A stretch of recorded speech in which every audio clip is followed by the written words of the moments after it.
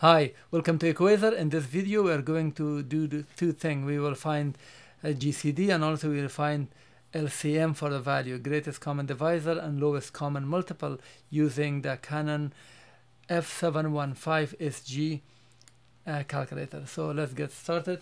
GCD of 186, 45 and 12. To find the GCD, we press shift and this, this button.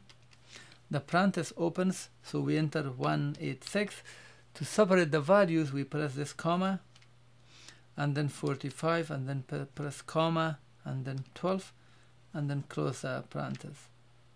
Press equal sign, so the greatest common divisor for these values is 3. Now let's say we want to find the LCM, lowest, lowest common multiple. LCM of 30 8 42 so the same way we just press LCM LCM is a direct one. So 30 and then press this comma 8 comma 42 close the parenthesis and that's the answer. Thank you for watching. Please thumb up the video if you like it and also please don't forget to subscribe to get updates